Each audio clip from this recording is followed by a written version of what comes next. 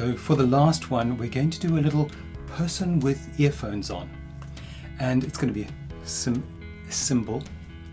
So what I'm going to do is I'm going to start off with the body first. So I'm going to use an ellipse and I'm going to go with green for this one so we get a totally different color. And I'm going to make a little elliptical shape like that. Hold down primary touch to get a perfect circle. Let's zoom in a bit to make it easy to see. And then what I want to do is I want to cut a bit over here where his head is going to be. So I'm going to use another ellipse and once again a perfect circle there, a bit smaller than the first one. Maybe I may need to make that a bit bigger. Once again, if you're not sure about what you're doing here, just go over to outlines and that way you can see perfectly where it is. So back to preview, I'm going to select both of those and I'm going to use my Pathfinder, of course, minus the front and convert. I want to cut the bottom off of this, so it's kind of rounded at the moment. I'm going to use a rectangle, put the rectangle up, not quite to the middle, maybe just a little bit below, so we get that roundedness on the outside. Select both of those same again, Pathfinder, and we'll go down to the minus front, convert to path. Okay, let's have a look now at doing the head and the earphones. Now I'm going to do something slightly different this time. I'm going to make the head first of all, so I'll use an ellipse, um, draw my elliptical shape in, And then I'm going to draw in my earphones also as ellipses. So go to my elliptical tool, hold down the primary touch and draw in the shape that I want. Now that's going to go on this side here and I'm going to make a copy of that by holding down the secondary touch on this side. Oh, look at that, we've got Princess Leia. Who knew? Anyway, um, I'm going to select all of those areas and then I'm going to go up to my Pathfinder but this time I'm not going to use what you expect. I'm going to go down and I'm going to use something called divide all. Now when I use divide, try it again, when I use divide all it divides all of those into individual parts but they're grouped together. If you try and move them it sees them as one shape. So the next thing I have to do is to ungroup them. And there's a little ungrouping icon in this display over here. It's this one here. So if I just click on ungroup to get them all ungrouped, now you'll see that when I move this one out, I can just pull it out a little bit like that. I could pull this one out a little bit like that. Now this is still actually made up of three shapes. So I'm just going to go back to the Pathfinder and combine them all and convert it to a path again. Let's move those into the right position down here. And then I want to put the band across the top of the earphone so it does look more like an earphone rather than somebody with just very um, large type of ears. So I'm going to do, once again, something we did with the rocket. I'm going to make an elliptical shape like that. I'm going to hold down the secondary touch and make a copy, which is down here. So once again, you can see that's what I've done there. Just moved them around. And I'm going to select them both and Pathfinder, I'm going to then go in and I'm going to minus the front object and convert to a path. And that's the little bit that's going to go on the earphones itself to make it look more like it is actually an earphone. And I think that's looking pretty good. Um, I might make this a little bit smaller and just pull it in a little bit like, like that. Now, so that when I start to move these around, I don't mess the whole thing up. I'm going to select all of them and I'm going to go to group. So it's the little group icon down here. That's the third one in from the right. I'm just going to click it to group them all together. So now when I click on Let's try that again. Group them all together. So when I click on one, they're all grouped and I can scale them all very quickly as well, like so.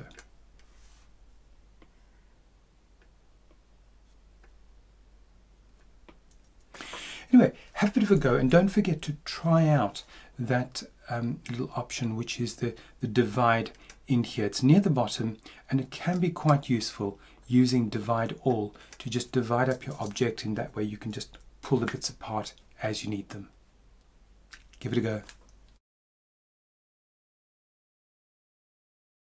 So before we start to go any further, I'm going to make copies of all of these icons and move them down to the bottom so we've got something else we can work on when we're doing the logos. If I select all of them, I'm going to hold down my secondary touch and just move them all down like that. Now what I want to do is I want to give them a sort of an app type of feel to them. So I'm going to put a little box around the outside with the rounded corners. So I'm going to go to my rectangular tool and I'm going to draw the box in. Let's move in here a bit and draw in that box shape, holding down the primary touch so I get a perfect square. Then I can go to the corner and I can pull the corner in to round off the corners to taste. Now all I've got to do is send that to the back. So to move that to the back, I'm going to be using this little option here which allows me to drag or change the stacking order. And as you can see I can just stack it that way. Might take a while because there's a lot of objects there but it will eventually move it down down down in the order of the objects until it goes right to the back. So this one is going to be the same um, pink as that one. In fact it's going to be red I think and then I'm going to take the shape itself and make that white we could subtract one from the other, but we're just going to keep it as a white shape. And then I'm going to work my way through the rest of these doing exactly the same thing. But because I've already got the, the rectangle, I can just click on it, hold down the secondary touch, drag to make a copy in there. The car might have to be made smaller. Let's do another one over here and another one for the last one over there. And then I can just work my way through. This is going to be purple. And the car with its wheels. Now you can see I'm just multiple selecting by holding down the primary touch in there is going to be white. My whale, this is where it's sometimes it's useful to kind of um, group things together. So let's have a look at how else we could select that whale. I could click and drag to select everything, including the square at the back, and then I could hold down my primary touch and click on the back square to deselect it. So the whale is all selected now. I can make that white. While I'm there, I'm also actually going to group it together. It'll just make it easier in the long run. And then I can give that a color. So we'll go back and choose the blue that I was using. I think it was over, over there. Not the same, but that's fine for the moment. And let's move finally onto our little person with the earphones. So I can click on that because it's grouped together. Choose white for that one go to my background and I'll find the, um, the green. Now, if I want the same green as I used earlier on down the bottom, well, I could use my little eyedropper and just move the eyedropper over to select that green from there. Right, these will need to be moved around a little bit like that, getting them right in the middle. Some, whoops, I thought I'd group that one together. Um, some of them you'll find that you might need to actually rescale and jiggle around, but have a go and get some icons going. So I've got my little shapes here and what I'm going to do is I'm going to select the icon and the shape around it and I'm just going to group it together. I'm going to work through all four of these very quickly, selecting, grouping, selecting, grouping. And then I want to even these all out and line them all up. Now the first thing is, you see if I'm moving these around, the little smart guides kick in, and when the distances are the same, it shows me with little guides in there. And the other thing that I want to do is I want to make sure they're all aligned vertically. Now we've got an alignment and distribution option in here, and I can just go along here and I can just align with the tops or with the middles or with the bottoms. I can also distribute items evenly as well so they're all perfectly distributed at the same time. Have a go, neaten them up and then we'll get on to the next section of making the logos. So let's do the last row of icons. I'm going to put some text in some of them and some of them I'm going to do as strokes. So let's start off with the stroked ones first. Going to move into the car, I'm going to select it and then I'm just going to flick the fill to the stroke and I do that with that little double arrow over there. Now remember if you want to change the width you can do that down here by clicking on then I can then just drag to change the width of that stroke. I'm keen to keep it quite narrow and quite delicate. Now something similar with the fish or the whale. I'm going to select it and I'm going to go over here and I'm going to make it into strokes. Now this is a bit of a problem because the fin on the side looks a bit weird.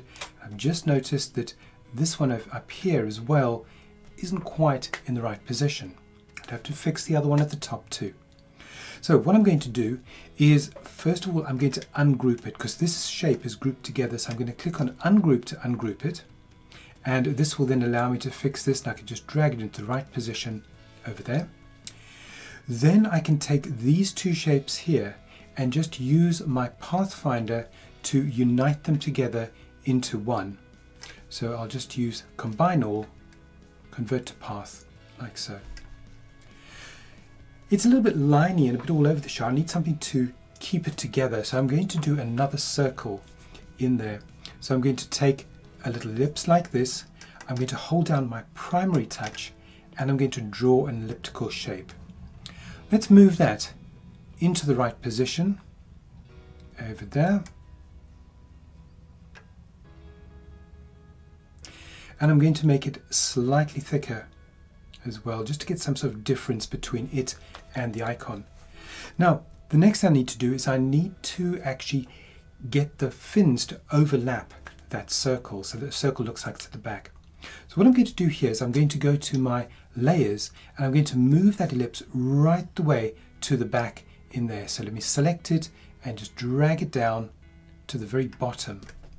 Now, of course, because these are empty objects, you're not going to see that that's actually behind it. So I'm now going to select the body of the fish and fill it with white. I'm going to select this um, tail fin here and fill that with white as well. So those are looking okay. Let's do some text in here. So I'm going to start off over here with the rocket.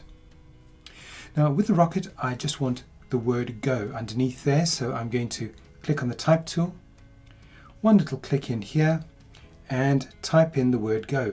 Now to type I need to select the text. I double click it, it opens up my keyboard and I can then type in anything I need.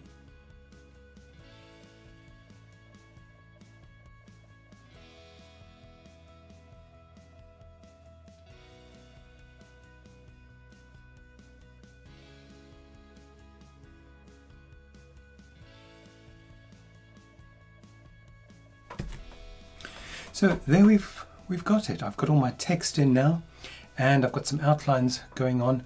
Now, have a bit of a go, not just with these shapes, but try some other shapes as well. Have a look at existing logos and seeing what other people are, are doing. You'll find that so many logos are purely just squares and circles when you start to break them down. But look around you as well and see what you can create and just simplify it into circles and squares have so much fun with it. It's such a cool tool.